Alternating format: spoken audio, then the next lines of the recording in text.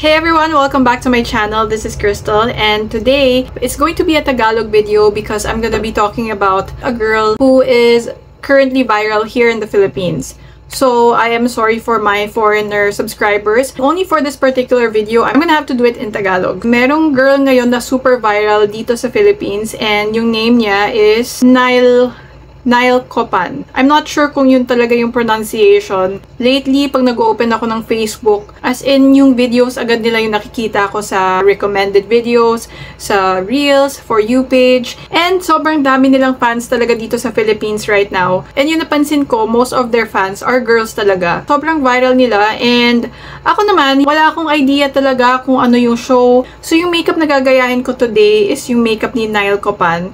And uh, is, is she Turkish ba, Honor? So, meron tayong Turkish dito sa house. We have Honor here to ask. I tried to search about the show, about this girl, and about the guy. Yung, yung parang, yung boyfriend niya, I think, yung name niya is Ogus. Ogus. Kailan G kasi siya eh. Ogus. Nile, Nile and Ogus.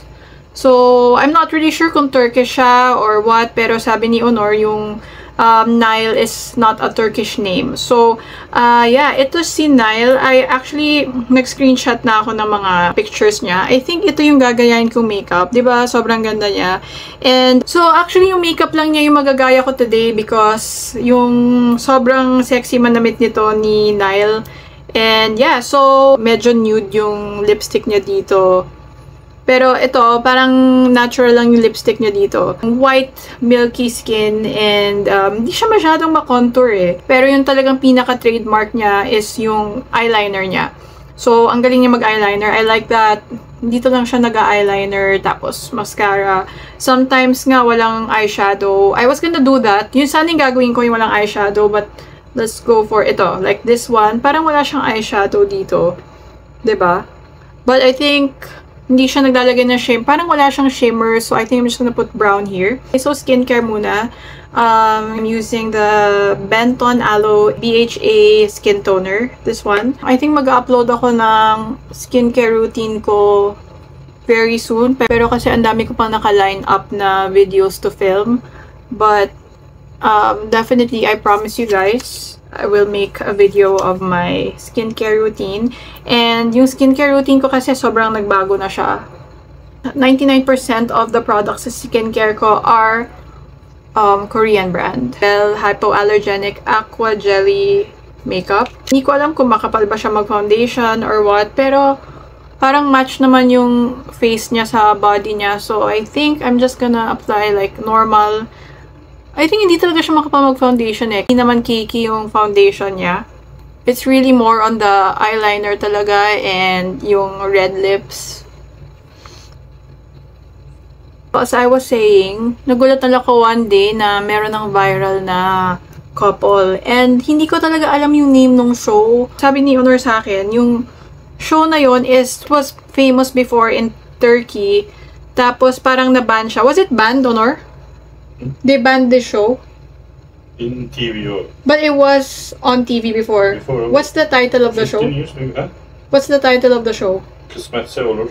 Kısmetse Olur? I- Kısmetse olur. Kısmetse Olur. Uh, uh, And then why did they ban them on TV? So, so many fights. So, may mga fights daw dun sa show, tapos medyo, so, um, na-ban siya from the, from TV. Tapos now, I think, sa YouTube sila, di ba, Honor? They continue YouTube. YouTube na lang. Hmm. I think from what we know, wala na sila sa TV. It's uh, just on YouTube na lang. So, hindi ko rin alam kung ano yung YouTube channel nila. Basta alam ko lang, the reason why I'm doing this makeup tutorial is because whenever I see her videos, gusto ko talaga yung makeup niya. And of course, you can see naman super fashionista talaga siya. Usually naka-boot siya. Sobrang ganda ng mga damit niya. So ayun lang, super light foundation. Cause now I'm using this Maybelline Fit Me Concealer na sobrang ubos na. Simutin ko na lang. And ito yung isa sa mga super fave ko talaga na concealer. Buti na lang mahaba yung nails ko right now because you can see naman si Nile. Is it Nile or Nile? Hindi ko alam. I'm sorry if I'm pronouncing it wrong. But you can see naman talaga na sobrang haba ng nails ni Nile. I'll just call her Nile kasi parang feeling ko it sounds better So, mahaba yung nails usually ni Nile. Yun lang, wala lang ako talagang bangs. Hindi kasi ako nagbabangs. The last time I had bangs was, I think, ano ako nun yata, 22 or 23 and it's not easy to have bangs. Sobrang light lang ng foundation and concealer lang. I don't think makapal siya mag-foundation. Just cover yung mga dark spots just to even out my skin tone kasi si Nile sobrang even nung skin niya, 'di ba? Pero it's not like hindi siya makapal, parang hindi makapal yung foundation niya eh, from what I can see. Even though makapal yung foundation niya, you won't see it naman on TV na, ganun kasi sa TV, even sobrang kapal ng makeup mo, hindi siya nagre-register sa TV. So, parang natural lang tignan yung makeup na makapal in real life. So, since matangos yung ilong niya, diba? You know naman yung mga ilong ng mga Turkish ma, tatangos sila. Tatangos talaga yung ilong ng mga Turkish. So, um, Lagyan ko na rin dito. Nadagdag ako ng bridge sa nose. So, yan. Medyo even na siya. Okay, so for the eyebrows naman, parang super natural lang naman ng eyebrows niya. I actually like her brows kasi bushy siya pero hindi siya yung sobrang tapang na makapal na eyebrows. So, yun lang. I think I will just follow the natural shape of my brows. Ganun yung eyebrows niya kasi hindi bushy siya pero hindi siya maitim masyado or yung sobrang tapang. I like her brows actually. Like, natural bushy lang. And, I think, since she's Turkish, or she's not ba, natural na lang yung pagka-bushy ng brows niya and maybe finil in lang niya ng konti yung kilay niya. But, ako kasi, di ba, medyo manipis yung kilay ko. So, I have to fill it in a lot. Tapos, may mga gaps pa yung hair ko. Yung eyebrows niya, mas makapal pa dito. So, lagyan natin ng konting arch kasi merong arch yung kilay niya. Like I said, wala talaga akong alam tungkol dun sa show. Nagustuhan ko lang talaga yung makeup ni Nile. Saan ba kayo nanonood nung show niya? Because hindi ko talaga alam. May marami silang mga fan page. And doon sa comment section, marami nagtatanong kung saan ba sila mapapanood. Sometimes may mga hashtag. Hindi ko naman maintindihan.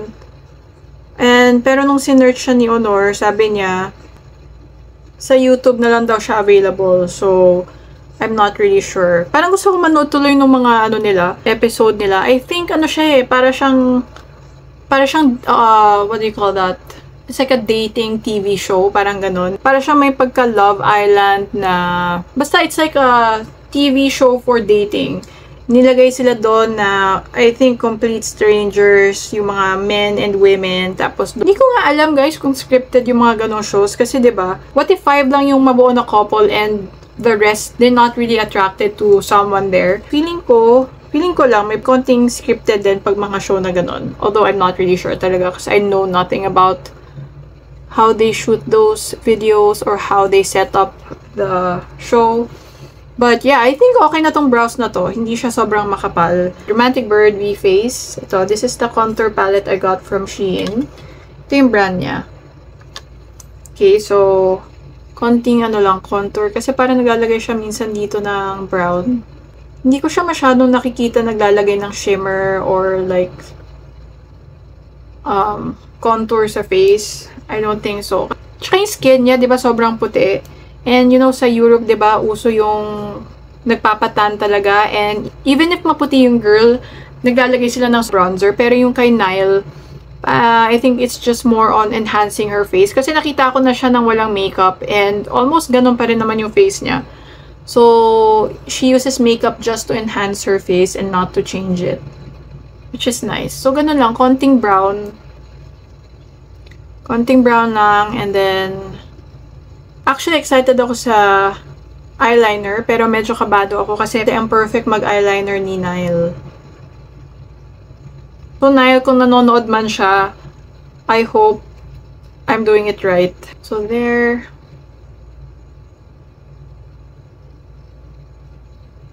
So, eyeliner na tayo. Ito talaga yung trademark ni Nile. And may nakita akong video niya na ang ginamit niya is parang, I think it's a pencil eyeliner. So, I'm just gonna use this. Any black pencil eyeliner naman will do.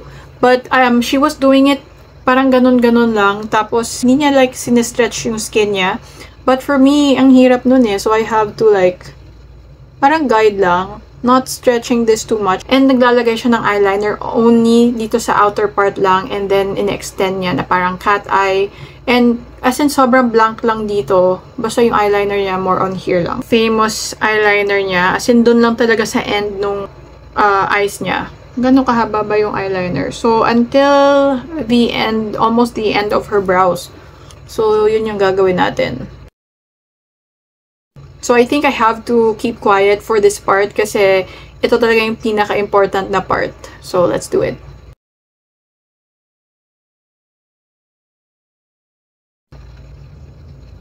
Biri benim kullandım. Gözünüzü kapatmadan böyle çekerseniz buradan çok garip oluyormuş. O zaman aynı. Bu kesinlikle bu eyeliner çekerken lütfen gözlerinizi kapatın. Hayır kapatma. Çünkü gözünüze girebilir eyeliner. Make sure pala guys na wala makikitang skin dito sa may lash line nyo. You have to cover that completely. And then, now na meron na akong guide, all I have to do is to just make it darker. Yung gagawin ko lang is to enhance pa yung line and then make it darker. Ayan. 'di ba?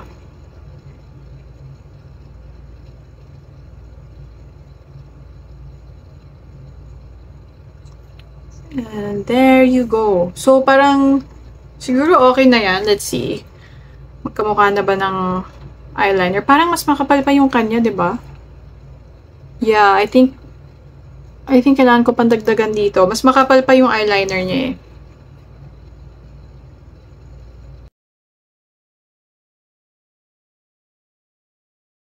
Medyo nagsa-struggle ako dito sa eyeliner ko na to kasi medyo dry siya eh. But, kung gusto niya ng sobrang perfect yung line, para siyang Q-tip ba tawag dito? I forgot na. Ayan. Actually, gusto ko pa siyang pakapalin. Pero, natatakot ako na baka sumobra. But I have to make it thicker pa. Parang ganyan. So, doon lang talaga sa labas ng ice. Okay. Let's see kung pareho na ba. Actually, may iba siyang picture. Medyo in-extend niya pa ng konti dito sa front. Konting-konti lang. So, siguro until the center lang ng mata ko. Konti lang. Super thin line. There. I actually really like it. Ginagawa ko na talaga tong look na to before, pero um, I stopped doing it kasi nga nalimutan ko na siya completely. Pero napaalala sa akin ni Nile talaga yung ganitong um, eyeliner. So, hindi pa rin ako tapos kasi medyo dry na talaga yung eyeliner ko. I'm still trying to fill in. Kasi gusto ko mukha siyang makapal. So, ganun guys yung shape niya. Oh.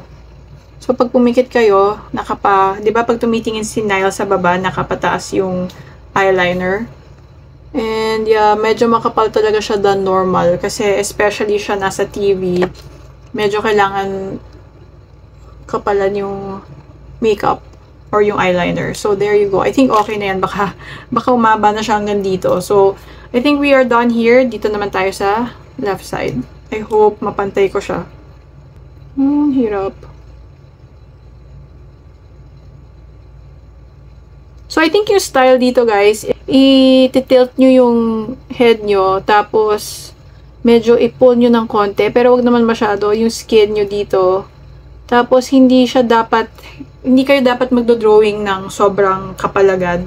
Parang dot-dot lang while you're creating the line, unti-unti lang. Kasi pag isang ganun siya, hindi nyo na mako-correct yun eh. So, this point, hindi pa siya buo yung line. And yung napansin ko, medyo straight yung line and I want this to be konting pataas. So, i-erase ko dito siya na medyo parang yung direction ng pag-erase ko is pataas siya para tumaas na yung eyeliner and yun na yung susundan ko. Medyo purol na yung eyeliner ko. I have to sharpen it now.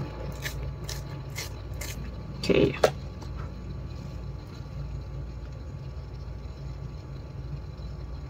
Alam nyo guys, aside from this TV show pala, napansin ko lang na ang dami-dami talagang mga fans ng mga Turkish series. Especially sa Netflix. I have a tita, tapos meron siyang kasambahay and uh, pinapanood talaga niya yung mga series na Turkish kahit hindi niya naiintindihan. Hindi niya naiintindihan pero sige lang, nanonood talaga siya every day. Hindi ko lang alam kung anong show, pero ang alam ko kasi marami talagang fans ang Turkish series all over the world from what I know. So, meron ako ditong micellar water and also uh, wipes. And then, yung ginagamit kong stick to erase the mistake, linisin ko lang kasi parang kumakalat yung black if I don't clean it. So, ayan. Ba medyo makalat na siya? I'm just gonna remove that.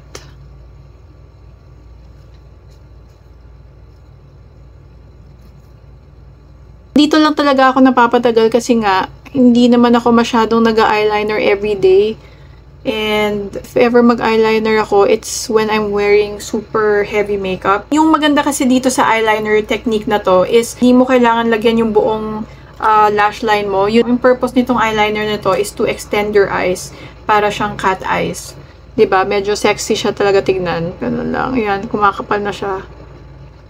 Kumakapal na siya and ay, medyo challenge sa akin tong eyeliner na to, first of all. Ang hirap niyang gawin when you're filming. Hindi ako satisfied dito. See? Pantay na ba?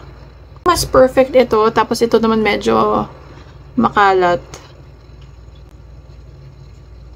Doon sa video ni Nile na nakita ko, parang ginaganon-ganon lang niya yung liner. Okay, I think I think okay na to. I'm just gonna add here lang konti. Okay. Linisin ko lang yung dulo niya para sharp tignan yung line. And uh, I think I will stop here kung nililipad na talaga yung eyes ko. So, yan, di ba? Yan. So, pag tumitingin siya sa baba, kaganon yung wing nung eyeliner niya and mapantay na ba?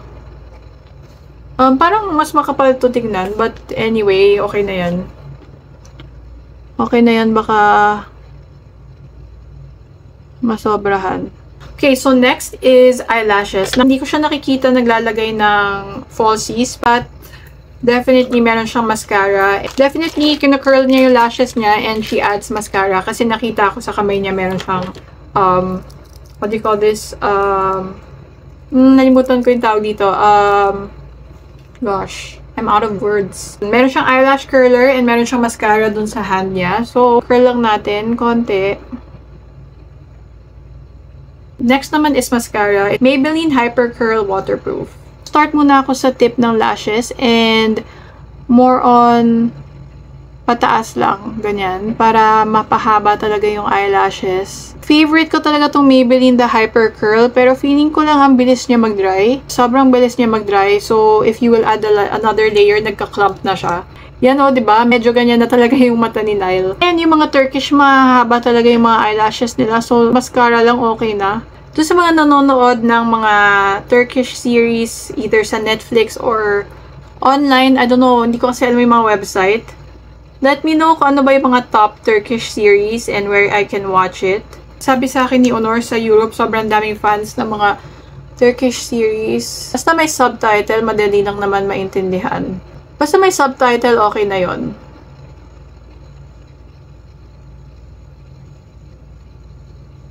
There.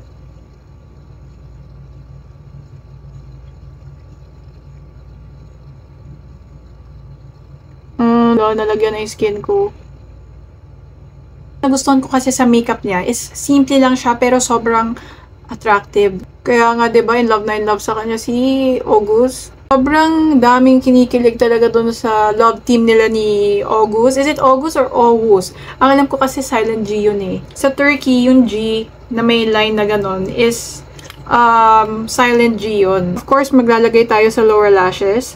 So, sobrang daming kinikilig dun sa love team nila. Sobrang nakakatawa lang na umaabot na sa Philippines yung mga international series. Before kasi, di ba, puro Korean series lang. Yung maganda kasi doon, dumadami na yung nagiging fans ng mga Turkish series, yung mga ganyan. The good thing kasi about watching mga international series is nakikita mo yung culture nila. Hindi ko sure kung meron siyang nose contour. Meron ba? Contour my nose. Konti lang.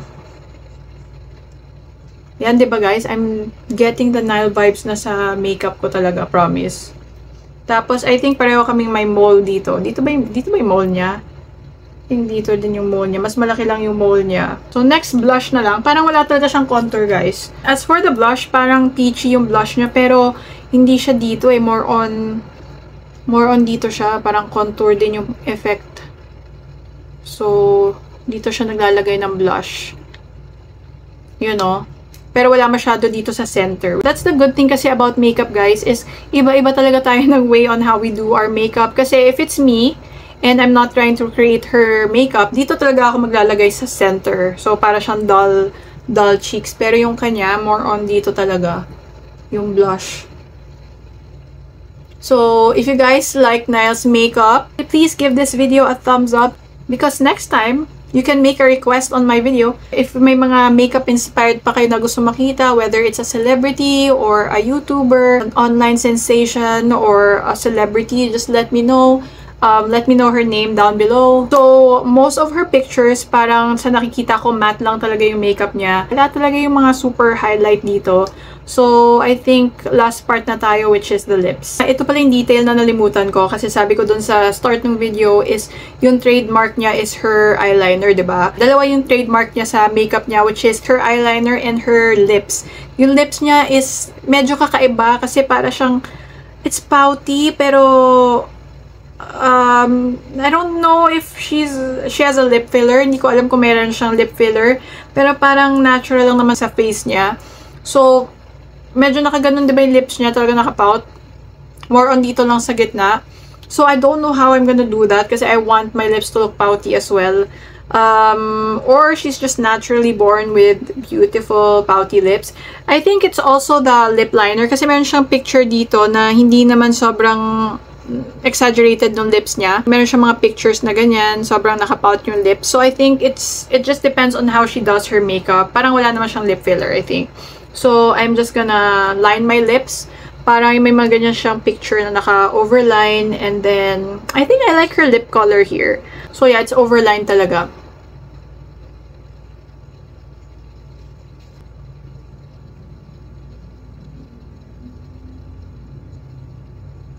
Ganyan. And then sa baba.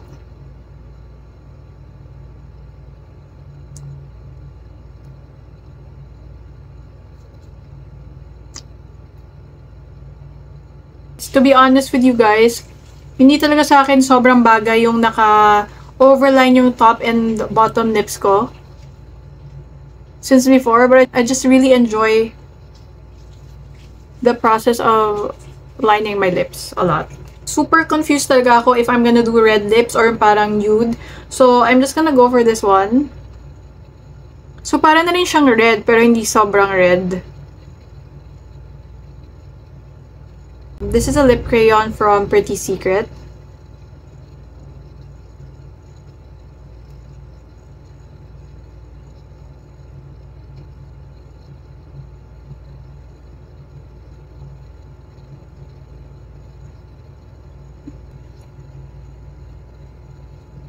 Okay, so what I'm gonna do now, kasi nga nakapout yung lips niya, i-extend ko rin to ng konti pataas. Pero more on dito lang eh, tsaka dito. Hindi siya yung masyadong on the sides of the lips. Dito lang and here. More on the top and bottom. Tapos hindi masyadong in-overline on the outside. So, para siya nakaganon.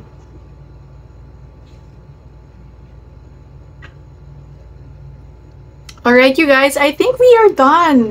And to be honest with you, sobrang sobrang nagustuhan ko talaga tong makeup look na to, promise. And ang glamorous niya tingnan in real life. Sa sa camera kasi hindi mo masyadong kita, pero in real life, oh my god, sobrang ganda ng makeup. So, it's so different compared dun sa ginagawa kong makeup everyday. So, yun yung good thing kasi when you are trying to recreate makeup from celebrities or So, when you recreate their makeup, nakakakuha ka ng bagong ideas. And as you can see, ito hindi ko ginagawa tong eyeliner na to masyado. And then yung ganitong lips, I don't wear red lipstick tapos meron pang lip liner. I never do that. Nagustuhan ko din yung blush, promise. Sobrang nagustuhan ko din yung blush na dito lang siya sa outer part of my face, hindi masyado dito sa center.